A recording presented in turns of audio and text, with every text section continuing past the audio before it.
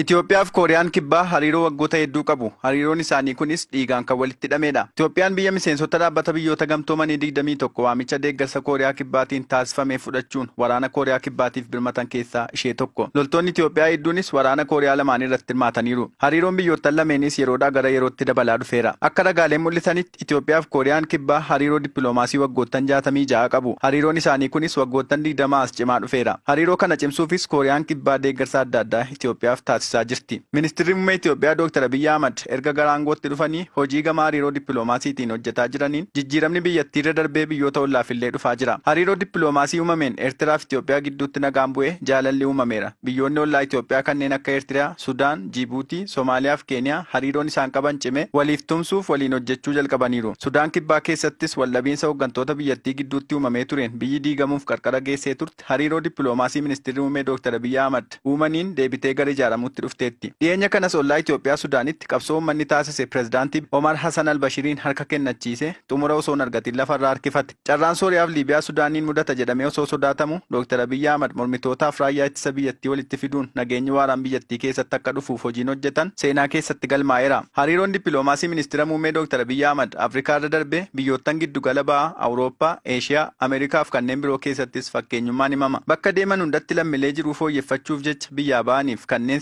siyaasa keessa waggoottaniif tureen dararamanii biyyaa ba'anii biyyaan baattidhaman xiyyaara ittiin imalaniin qabatanii gara biyyaatti deebi'uunis ministira muummee seenaa gaarii qabanidha. Bakka deeman itti nageenya buusuunis abbaa nagaa jedhamanii beekamu. Hariiroo biyyoottan seenaa dheeraa waliin qaban Kooriyaa Kibbaa fi gidduu jiru cimsuuf ministirri muummee Dr. Abiyyi Ahmad garasitti imalaniiru. Daawwannaa hojii kanaanis Kooriyaa Kibbaa keessa guyyaa lamaaf kan turan yemmuu ta'u, pireezidaantii Kooriyaa Kibbaa Muun hariiroo